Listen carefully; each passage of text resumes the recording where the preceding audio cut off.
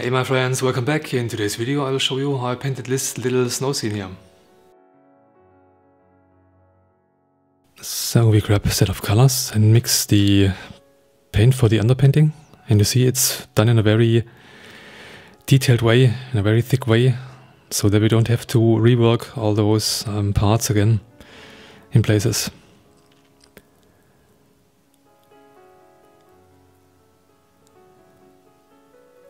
The set of brushes we use for the second layer. And after the first layer is dry, I basically yeah, go back and start to rework the parts that need again some work. As you can see here, the clouds were not uh, that nice. So I yeah, basically grabbed some color and reworked them. And I also start to add those yeah, the parts that melt basically into the background that we have here. And you see the background um, stays the, the same uh, as it is from the underpainting. I basically dry brush the color into the um, dry underpainting. See here.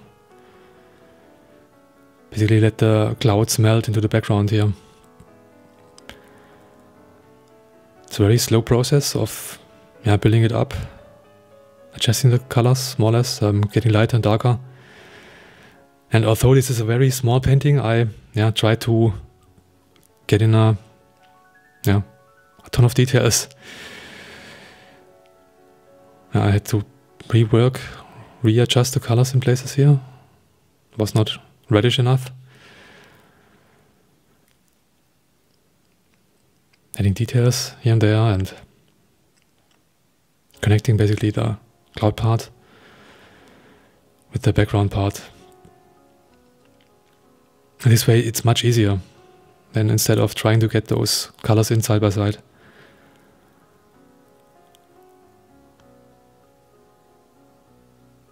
Yeah, building up the volume on the clouds here. This again is a very important lesson here to to really get the clouds looking like a, like they have uh, volume. You know, I'm connecting the mountain part with the cloud part here. Basically hiding the mountain behind the clouds here.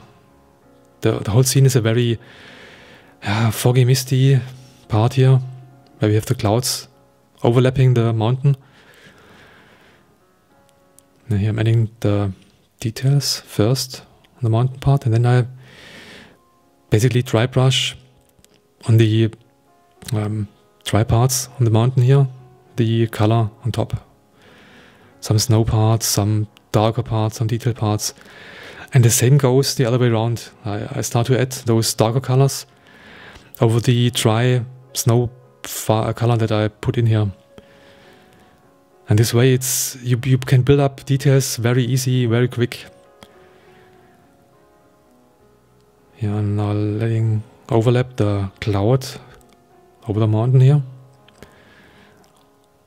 Also note that I'm taking different brushes size-wise. Um, I mean, it's obvious, but in my early days, I really had the temptation to to really um, um, yeah, use brushes that were too small for the job. And not only saves a lot of time to use the right size brush, but also, um, yeah, it looks better bit more painterly.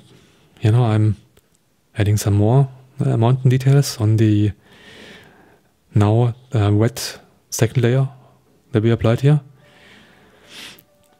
And this is a crucial part here because we have this um, air perspective um, enhanced.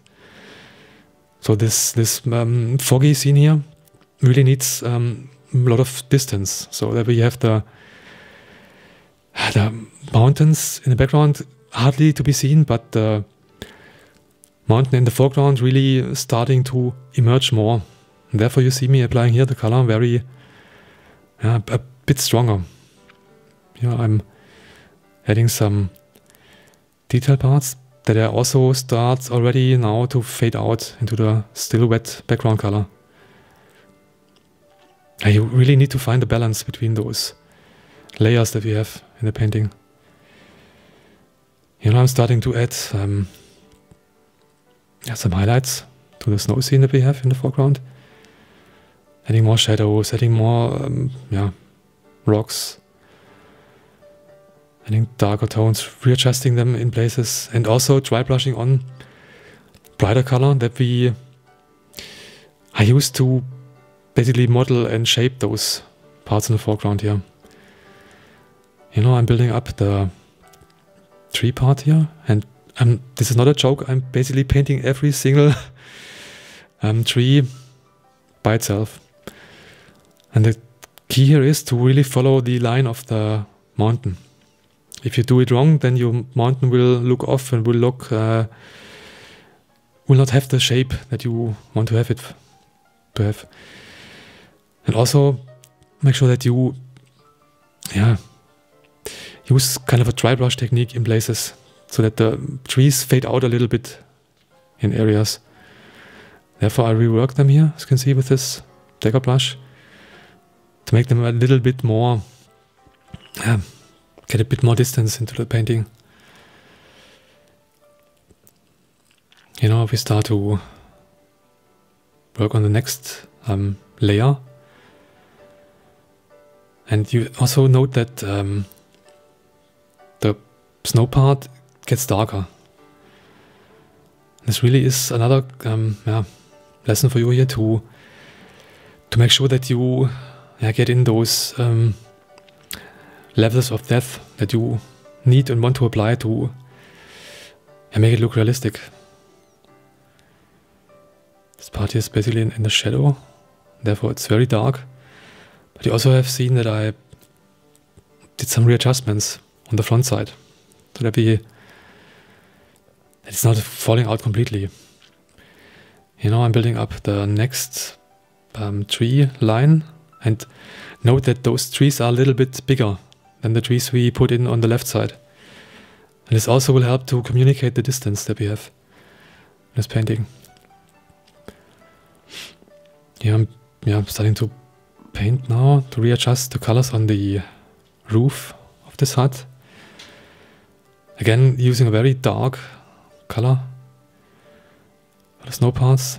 And this again really helps to communicate um, that this part is in the front and that we have the mountain and the other parts in the back. So really make sure that you get a nice um, color balance um, getting darker in the front. And yeah, here we have the detail part, the reflection from the snow that lights up parts of this area of the snow that we have in the shadow. And these are, yeah, the fine details that you need to put in to make it look realistic, to yeah, make it look not flat. Yeah, see it took me quite a while to build up all those small details and yeah, I went a bit overboard with this chimney here. But I love details. Therefore I even put in the shadow of this thing.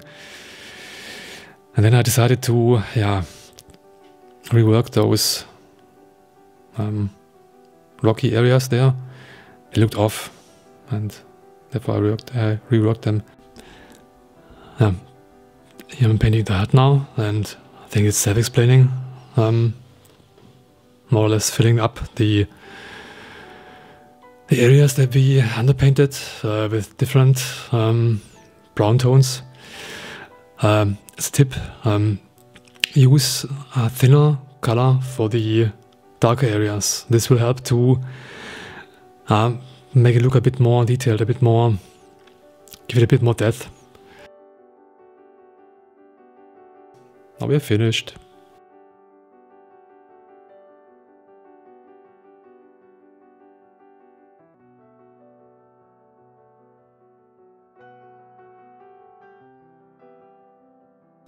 You want to see more painting videos? Then make sure you check out one of these two videos here.